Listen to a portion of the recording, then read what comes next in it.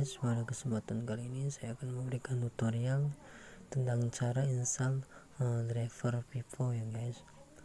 Untuk mulai mendapatkan drivernya silahkan kalian kunjungi situs resminya Vivo. Kalian bisa mengetikkan di uh, browser kalian Vivo sehingga muncul di pencarian Google. Kemudian kunjungin situsnya ya guys. Nah, di sini kalian akan menemukan beberapa informasi termasuk mengenai harga HP Vivo. Harga-harga HP Vivo semuanya tertera di sini. Begitu juga beberapa dukungan yang ada seperti itu seperti firmware pembaruan perangkat lunak atau pembaruan software. Dan uh, untuk kalian yang ingin mendownload uh, software untuk pembaruan uh, smartphone kalian melakukan update firmware kalian bisa melalui situs resmi ini. Nah di sini saya akan memberikan tutorial hanya untuk uh, menginstal driver. Silahkan kalian pilih menu dukungan. Di dalam menu dukungan kalian bisa menemukan beberapa pilihan. Misalkan pilih pembaruan sistem. Dalam pembuatan sistem ini tertera beberapa tipe HP. Di sini adalah tipe-tipe HP yang sesuai dengan uh, softwarenya ya guys. Kalau kalian mengunduh software, ini saya contohkan Vivo Y19. Karena tutorial ini membahas tentang cara install driver Vivo yaitu MTP driver, silakan kalian download terlebih dahulu drivernya, pilih tool atau alat-alat ya guys untuk mendapatkan drivernya. Kemudian klik unduh simpan atau mulai download kalau kalian menggunakan internet download manager kalian pilih uh, mulai download atau start download. Pakai internet download manager tuh cukup cepat guys untuk melakukan download dibandingkan download dengan uh, browser biasa ya guys. Saya lebih suka menggunakan internet download manager Oke, silakan ditunggu proses downloadnya hingga selesai mencapai 100% ya guys. Sama saja kalau kalian menggunakan browser untuk download, ya, prosesnya mungkin sama saja. Mungkin hanya lebih lambat kalau menggunakan browser ya guys.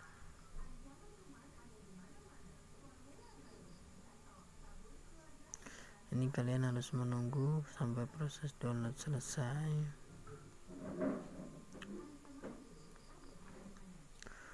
Untuk kalian ingin melakukan flash menggunakan tool dan menggunakan dukungan Windows, perangkat Windows atau PC, laptop, tentunya kalian akan memerlukan dukungan driver ya untuk koneksi smartphone dengan komputer sehingga kalian harus menginstal drivernya terlebih dahulu.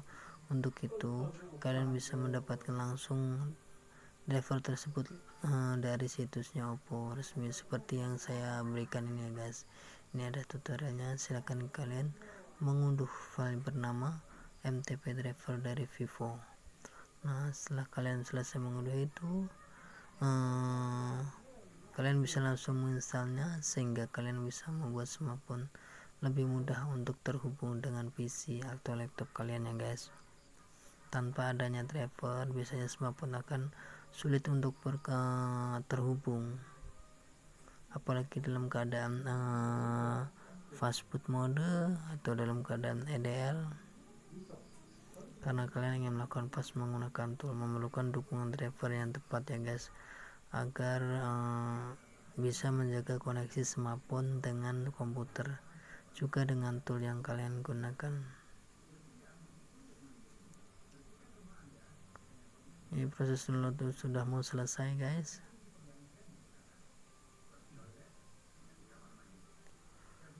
kemudian buka foldernya. Kita akan mulai menginstal driver mtp driver ya guys. Driver untuk smartphone vivo.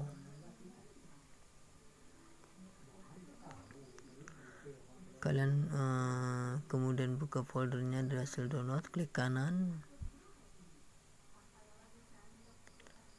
Klik kanan kemudian klik run as. Nah klik run as. Untuk proses instalasi driver ya guys. Klik uh, install. Klik install. Kalau bahasa saya itu install ya guys.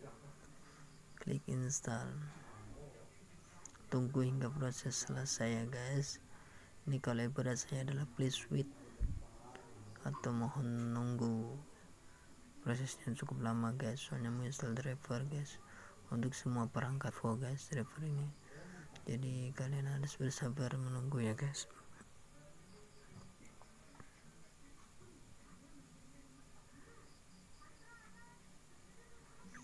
Nah kemudian klik finish. Ini driver Vivo nya sudah berhasil diinstal di komputer kalian ya guys untuk mengetahuinya kalian juga bisa mengeceknya melalui program lokal disket C di mana driver itu terinstalnya kalian bisa mencarinya. Atau kalian juga bisa mengetesnya dengan menghubungkan smartphone dengan smartphone dengan komputer kalian ya guys. Tentunya uh, koneksi akan lebih mudah ketika drivernya sudah terinstall walaupun kalian tidak menggunakan driver mungkin akan terdeteksi. Biasanya dia akan meminta untuk menginstal drivernya terlebih dahulu. Untuk itu untuk kalian yang peng, sebagai pengguna smartphone Vivo yang suka uh, melakukan transfer data dari smartphone ke komputer maka kalian harus memiliki drivernya ya guys. Driver Vivo biar semuanya bisa bekerja dengan baik antara koneksi smartphone dan uh, perangkat laptop yang kalian punya ya guys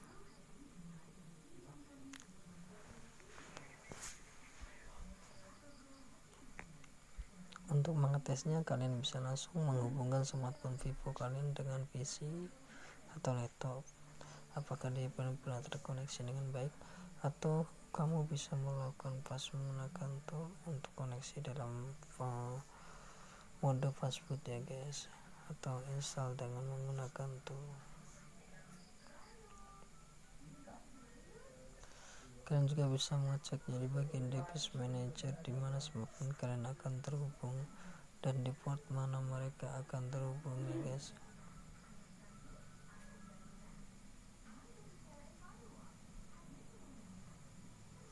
Jadi kalian tinggal uh, menentukan sendiri. Mungkin kalian ingin tahu drivernya di mana, kalian bisa mencarinya di bagian lokal di sketch ya guys.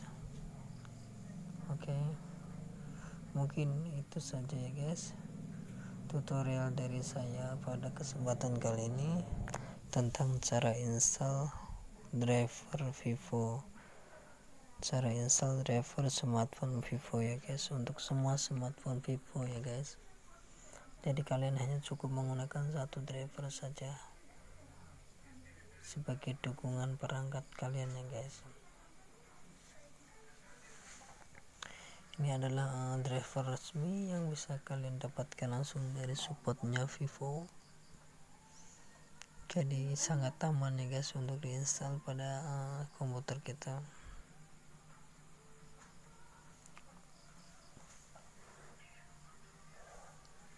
apalagi ini untuk semua driver Vivo. Untuk smartphone Vivo jadi kalian tidak perlu ragu untuk menginstal drivernya ya guys.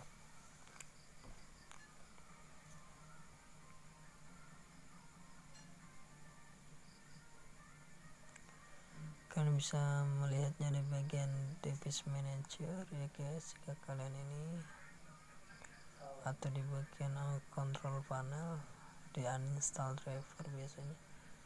Un, un, di uninstall aplikasi ada beberapa file yang terinstall itu ketahuan guys ya. Kalau tidak ketahuannya tidak apa-apa yang penting driver tadi sudah berhasil diinstal di komputer kalian. Kalian hanya menunggu proses kerja kalian bagaimana kalian ingin menggunakan driver tersebut. Apa ingin memudahkan smartphone hmm, lebih mudah terhubung dengan PC atau bagaimana ini akan membantu lebih baik ya guys untuk semua kalian. Oke guys mudah-mudahan tutorial saya ini bisa membantu kalian yang belum memiliki driver Vivo.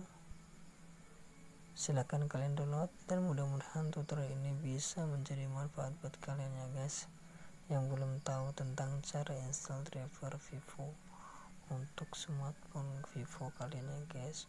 Oke terima kasih